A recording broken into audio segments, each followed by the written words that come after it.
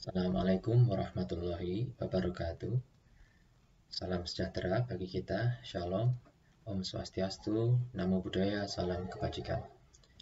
Teman-teman, kita akan lanjutkan kuliah bahasa visual dengan melanjutkan materi dari video sebelumnya. Ya. Uh, di video yang lalu kita sudah sampai pada uh, literasi visual dan uh, proses komunikasi dalam MIM. Baik, saya akan coba lanjutkan bahwa uh, MIM ini uh, karya yang menarik ya, karena yang membuat menarik itu ada sebagian orang yang uh, paham dan sebagian lain tidak paham. Ya, jadi dia sangat uh, spesifik. Misalkan contoh dari uh, meme yang barusan kita uh, saksikan ya, happening minggu-minggu uh, terakhir ini. Ini adalah uh, meme dari uh, kegiatan PKKMP dan kita tahu uh, PKK, uh, PKKMP ini sempat uh, viral ya, sempat terkenal trending Kemudian uh, tidak lama setelah itu ada yang namanya meme. Nah, yang menarik dari meme ini mungkin teman-teman uh, yang kelahiran tahun 90-an, 2000-an mungkin tidak begitu paham dengan uh, gambar ini ya. Jadi tapi bagi saya ya bagi orang-orang yang uh, kelahiran di bawah 90 itu akan uh, bisa ngeh dengan meme ini. Yang pertama adalah kita lihat ada kemiripan fisik di sini antara gambar di sisi kiri dan kanan ya. Yang di uh, kiri atas dan kanan atas ini adalah yang di kanan itu adalah uh, Arya Wiguna ya. Jadi mungkin dia terkenal karena uh, dia sempat uh, viral setelah kasusnya Aduh, saya lupa juga itu siapa itu. Uh, yang yang subur mungkin ya. Kemudian ya mungkin kalangan sosialita paham ya. Saya sendiri bukan uh, ada di lingkaran itu jadi tidak begitu paham. Tapi dia memang sempat uh, booming ya. Artinya dia ada di uh, mesin pencarian ya. Itu uh, dia sempat terkenal juga. Nah ini ada kemiripan fisik antara gambar di sisi kiri atas dan yang kanan atas itu. Kemudian yang di sisi kiri bawah, dia juga ternyata punya kemiripan dengan yang ada di sisi kanan ya, kiri di gambar sisi kiri dan kemudian di sisi kanan itu punya kemiripan fisik. uh, yang di kanan bawah ini adalah uh, bintang film ya, aktris yang sangat terkenal di era mungkin 70, 80, 90 ya. Dan sering uh, memerankan uh, tokoh mistis. Ya. Ternyata dia punya kemiripan. Nah, yang menarik dari meme ini adalah uh, sering kali kita atau sender atau orang yang membuat uh, meme ini dia bisa mengkaitkan antara uh, fisik seseorang dan yang punya keterkaitan di masa lalu ya. Artinya dia punya pengalaman dia juga punya pengetahuan di uh, hal tersebut. Ini bagi orang yang mungkin tidak tahu siapa Arya Wiguna siapa Susana dia juga tidak akan paham betul ya. Dan pasti ketika lihat gambar seperti ini ya juga uh, tanpa reaksi yang berlebihan ketawa ndak diam juga mungkin iya karena tidak tahu itu menariknya meme ya, menariknya meme. Oke. Coba kita lanjutkan kuliah kita.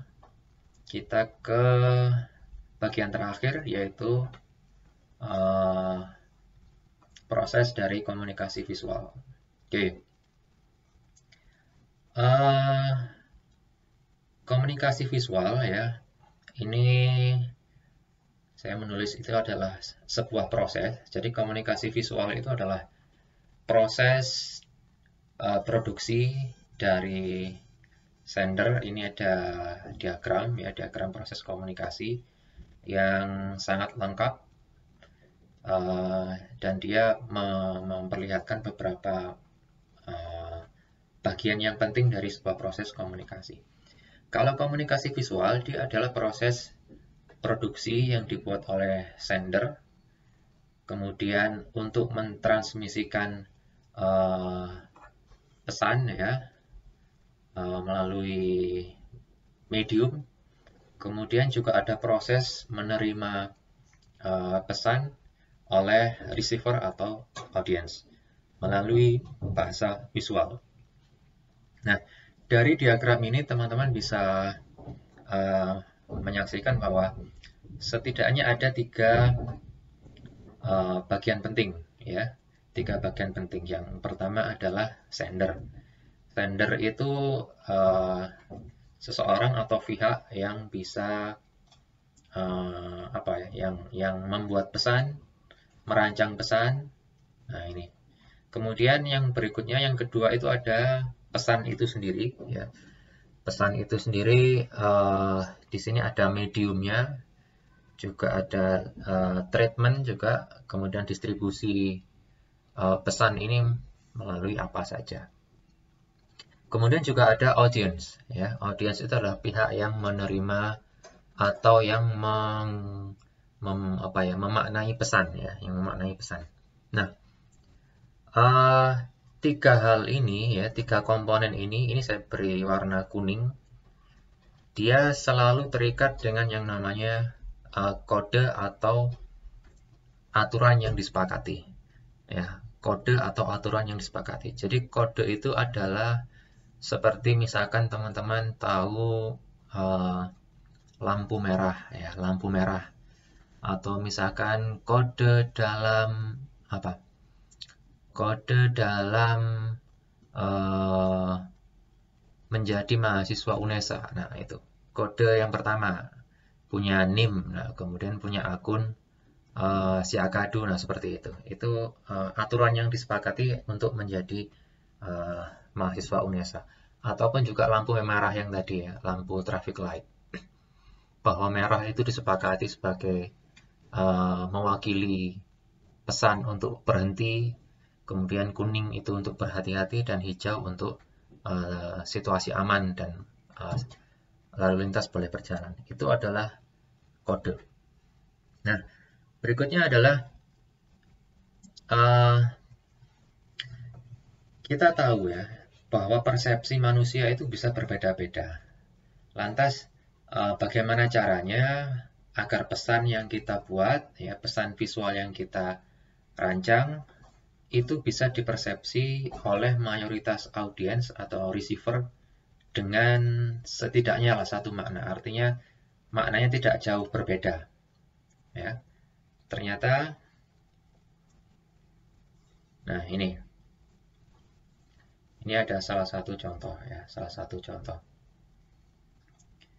Uh, ini adalah media publikasi untuk penyusunan proposal bagi dosen. Nah, di sini bisa kita saksikan bersama bahwa ada eh, hal-hal uh, yang uh, kurang tepat ya untuk kita yang sudah punya kepekaan di bidang visual. Ini ada beberapa hal yang kurang tepat seperti Eh, nama-nama uh, yang uh, maaf ini namanya memang saya uh, saya tutupi ya.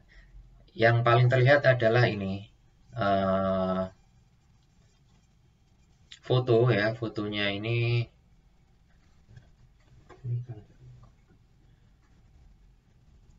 ya fotonya ini uh, apa distorsi ya, fotonya distorsi ketika foto yang tampil ada di sini, uh, semua foto yang ada di sini itu distorsi atau uh, orang bilang gambarnya apa?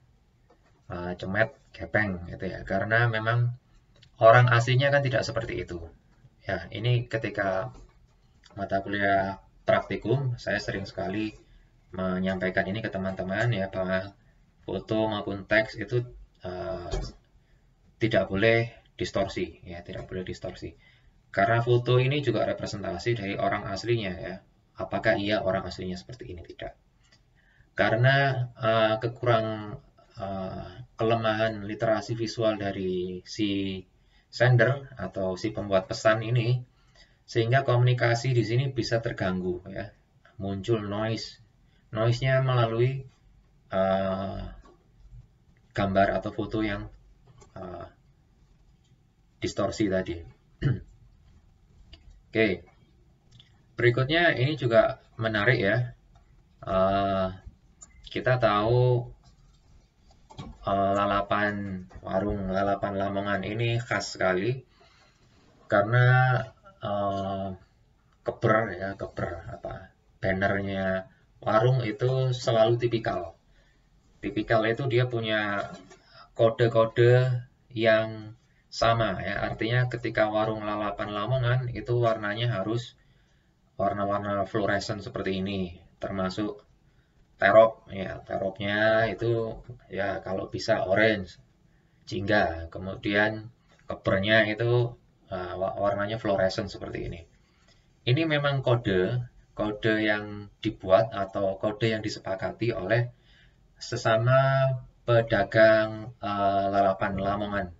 Sehingga ketika orang ingin membuat uh, usaha lalapan Lamongan, maka dia harus membuat kode yang sama agar pembeli itu paham bahwa ini adalah lalapan Lamongan, bukan lalapan Sunda. Nah, itu itu bedanya di situ. Jadi ini termasuk karya yang sukses karena apa? Uh, pesan yang disampaikan melalui sender, uh, pesan yang disampaikan sender melalui keber melalui bannernya warung ini bisa dipersepsikan oleh uh, receiver dengan uh, satu makna ya. Sehingga uh, ini berbagi kode yang sama kode-kode tentang bagaimana membuat uh, keber lalapan lamongan. Jadi uh, kodenya sama sehingga komunikasi visual ini bisa efektif. Ini meskipun dilihat uh, sebelah mata oleh beberapa orang tapi menurut saya ini karya vernakular yang sangat khas Indonesia dan uh, tepat sasaran efektif juga ya Oke, kita lanjutkan ke ini, potong rambut Madura ya, potong rambut Madura. Ini juga ada dua hal yang menarik. Yang pertama, yang dibuat di kaca ya. Kita sangat uh, paham terutama teman-teman yang cowok itu ketika mau potong rambut, ketika melihat tulisan uh, apa ya setengah lingkaran di kaca itu biasanya langsung ngeh bahwa itu adalah potong rambut Madura. Sama seperti uh, orang menggunakan pakaian uh, apa itu kaos yang kemudian uh, strip ya, strip putih merah putih merah. Nah, itu adalah kaos yang khas uh, Madura. Sehingga ini punya kode yang sama ya. Mereka sender dalam hal ini membuat pesan melalui uh, kaca tempat potong rambut ini berbagi kode yang sama. Dan kode yang tidak sama adalah yang di atas ini. Ya, potong rambut Madura yang dibuat modern menggunakan banner dicetak dengan uh, digital printing ya. Ini tipe uh, apa?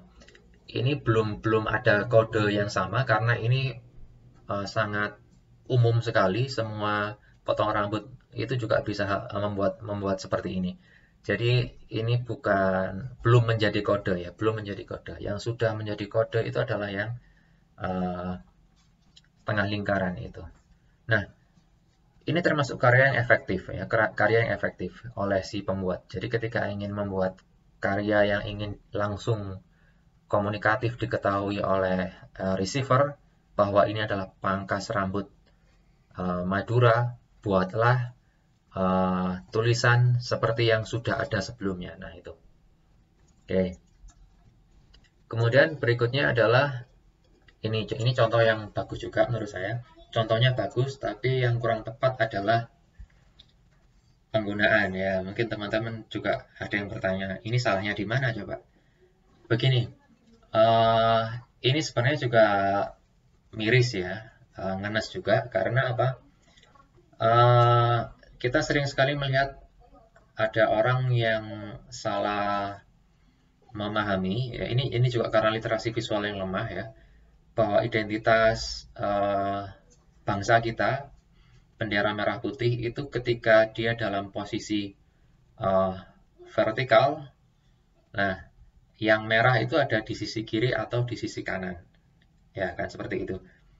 Ketika dibuat seperti ini, maka ini bukan bendera merah putih ya. Ini adalah bendera putih merah. Karena cara membaca kita dari kiri ke kanan. Ya, sehingga ketika merah putih itu dibuat vertikal, yang ada di kiri adalah merah duluan baru putih. Nah, ini juga uh, kodenya kurang tepat. Kode yang dibuat oleh si uh, orang yang membuat masker ini juga kurang tepat. Nah, ketika saya googling itu juga ternyata bahkan ada yang sampai di uh, instansi pemerintahan ya di kepolisian itu juga ada yang menggunakan masker dengan kurang tepat seperti ini. Jadi memang uh, ya, ini bukti nyata bahwa ternyata kita sendiri juga masih lemah di uh, literasi visual ya. Oke. Okay. baik. Kemudian uh, kesimpulannya di sini ya teman-teman jadi Eh, komunikasi yang efektif itu yang apa?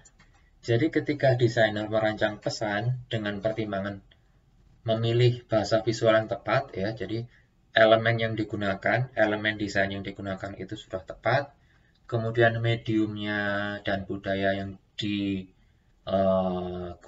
uh, itu sudah sesuai audiens atau receiver, kemudian dibuat berdasarkan kode, maka dia akan menjadi komunikasi visual yang efektif dan efisien. Pesan langsung bisa difahami dengan mudah. Oke, uh, itu tadi tentang proses komunikasi visual ya. Jadi untuk uh, materi awal kita saya rasa sudah selesai semua. Kita akan lanjutkan ke video berikutnya tentang fungsi-fungsi bahasa visual. Terima kasih. Wassalamualaikum warahmatullahi wabarakatuh.